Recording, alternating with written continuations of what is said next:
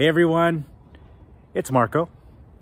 I'm just about to play soccer with the boys on their recess break, but I wanted to give you your quote on the go. Today it's from Dolly Parton.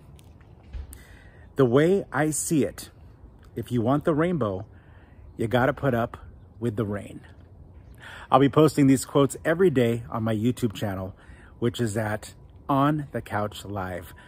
Please, if you have a moment, subscribe and leave a thumbs up or a comment down below.